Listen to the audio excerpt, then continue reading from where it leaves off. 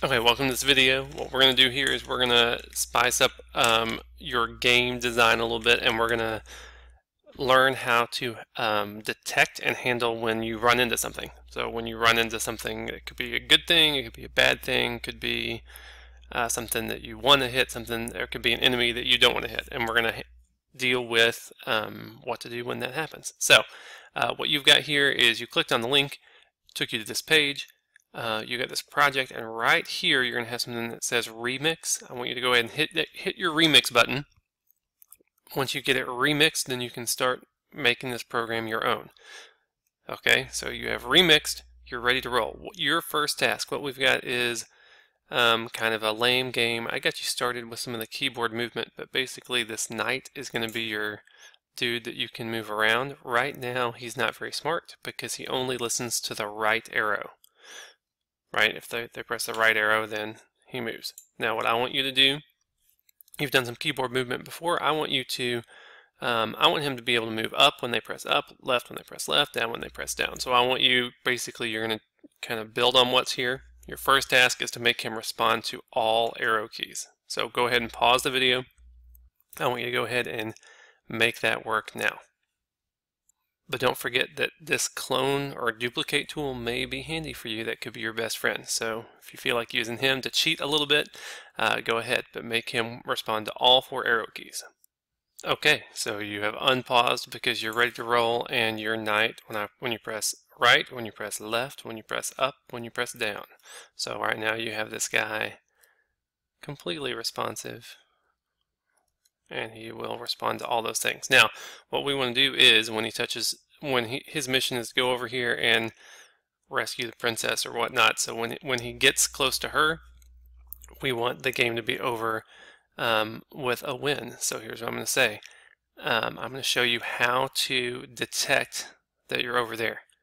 So go with me now. We're going to hit the events, and what we're going to do, you already had one of these when the green flag is clicked. I'm going to put another one. So there's he, so when the game starts, he's going to be thinking about two different things. He's going to be thinking about moving, and he's going to be thinking about um, getting to the princess. Now, once you've got this, and those are called, that's kind of like called parallelism, because you got two things running in parallel. Over here in your control, so pause me if you need to keep up. In your control, you've got this thing that says wait until right? So you're going to wait until, and now we're going to go over to sensing. You notice in the in your sensing tab, all these things look like they would fit in that little spot right there because they have the same shape.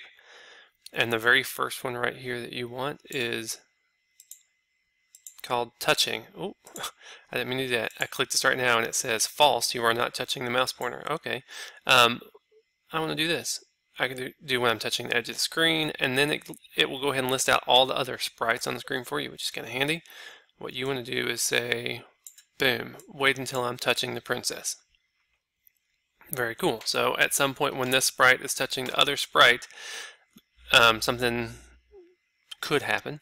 So we've got this green flag clicked, and it's waiting, waiting, waiting.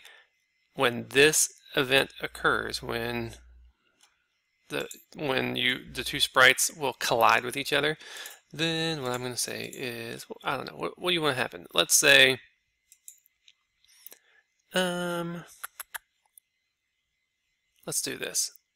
I'm going to go to events and let's broadcast a message so that everybody can hear it. And I'm going to broadcast the fact that I won. So now the knight will secretly tell everybody that he is that the the game is won. Uh, and then let's say go back to control. I want to grab this stop block and I want to stop everything else that's happening in my brain, which would be all this movement. So all this movement that's going on over here just gets stopped, put on pause. So you can't move anymore. So, that, so you'll feel like the game is over. So once you have this, I should be able to drive around. And this is not so much fun because now it just stopped. So let's make this a little fancier. Um, I don't know. What should he say if he...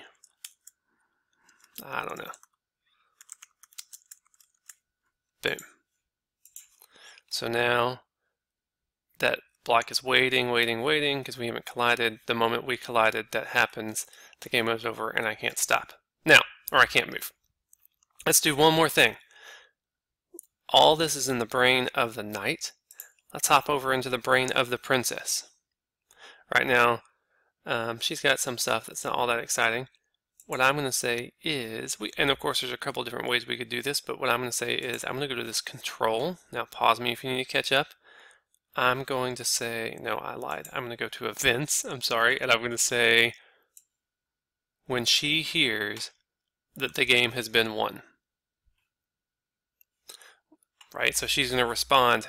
The knight broad will broadcast that fact that the game has been won. She's going to hear that secret message. She will do two things to make things happier. By the way, she's got two costumes. So we're going to go to looks we're going to switch her costume to hearts. And let's do this. Let's switch the backdrop. Whoops. To winter, because there are a couple different backdrops. So now this will be exciting. The knight does his business. The knight's coat is waiting until he collides with the princess. He collides with her. He broadcasts the one message. She receives it she does some changing of the backdrop and her costume.